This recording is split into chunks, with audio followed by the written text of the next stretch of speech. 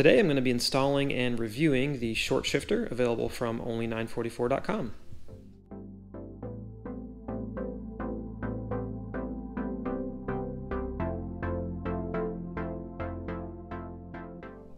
The parts here are sold separately, so there's the short shifter, the shift linkage arm, and they have a tiny 11 millimeter wrench to lock down the bolt on the transaxle. It's kind of a tight access back there. I've also got a slow leak at the shift rod, so I'm going to be replacing the shift rod seal. I have a backplate paper gasket and a small detent seal. Get everything cleaned up back there. One of the product benefits for the short shifter lists a 30% reduction in movement forward to back and side to side in the shift lever. So in addition to evaluating the feel of the shifter, I thought it might be interesting to take some measurements before and after and see how that compares.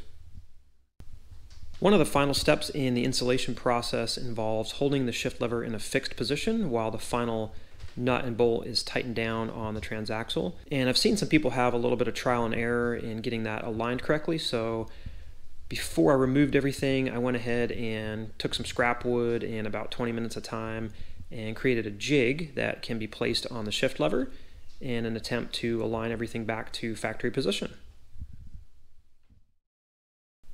Before removing the factory shifter, I went ahead and replaced these two seals first so that I wouldn't be fighting the full pressure of the spring on the shift rod. And I'm really glad that I did because as you can see, the seals are in pretty rough shape there was a bunch of grease and dirt all caked in there. And it was a little tedious to get up there, but I was able to get it done.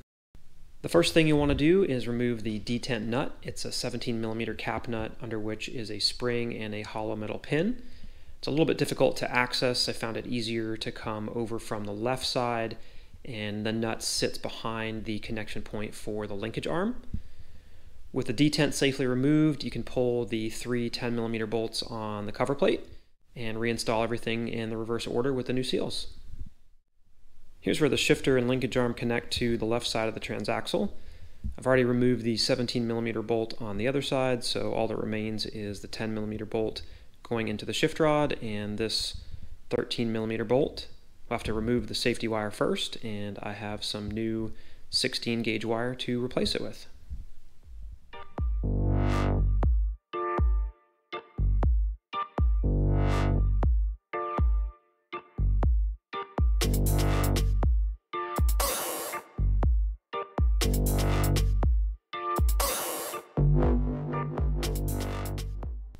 I was able to remove the shift rod seal using the drill and screw method, and the new seal was installed with a 17 millimeter deep socket and extension. Just tapped it in with a rubber mallet. There is a backing to this recess, so there's no risk of over inserting the seal. And now that all the seals have been replaced, it's time to install the new shifter. Here's a look at the two parts side by side. You can see the factory shifter features a couple of pivot joints stacked on top of each other. And I suspect that some of the play is coming from this linkage, whereas the new one has a Heim joint and some ball joints on the linkage, which should eliminate some of that excess movement in the shift handle.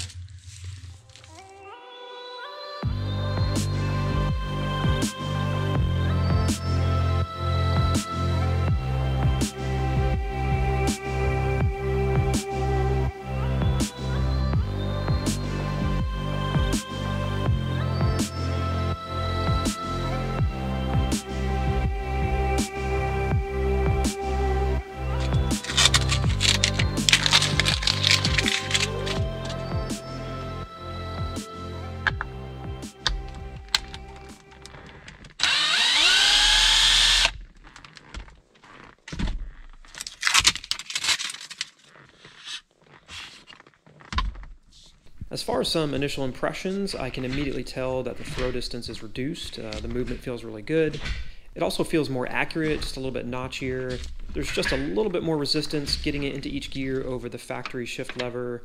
But as a result, I can feel a bit more of what's happening inside the transmission. It feels a lot more connected. So I think it's time to take the car out and get the gear oil warmed up and see how it feels.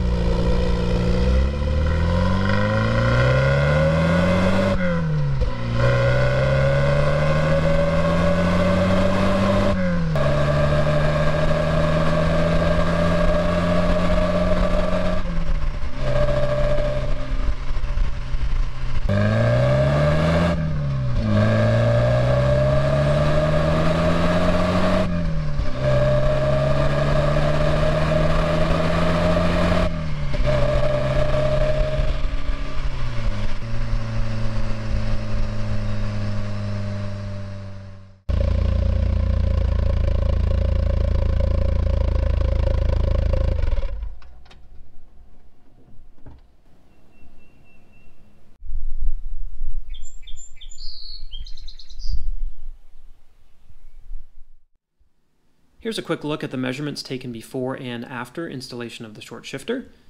Overall forward to back shift lever throw distance was reduced by 1 inch, which resulted in a 21.1% reduction.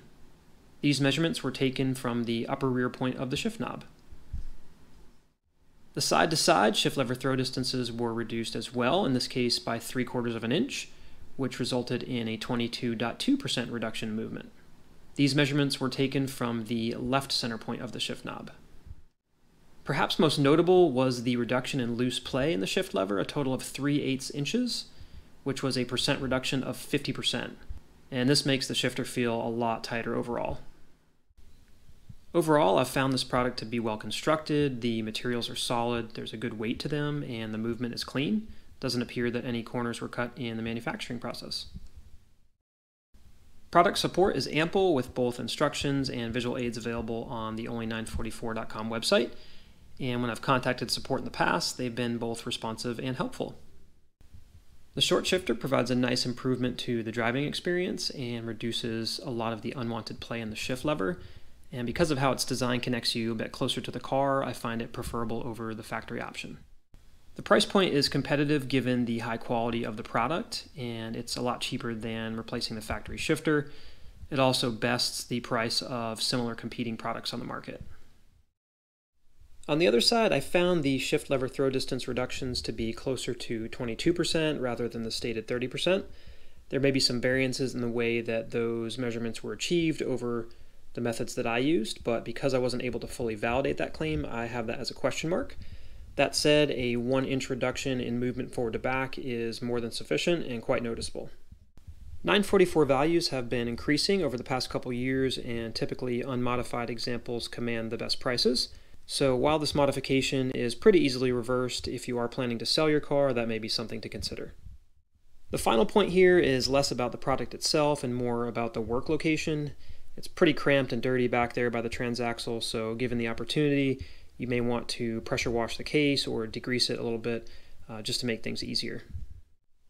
So in all, I would recommend this product, especially if you're looking to tighten things up and reduce some of that unwanted play in the shift lever. And best of all, it allowed me to perform some needed maintenance on the shift rod seals.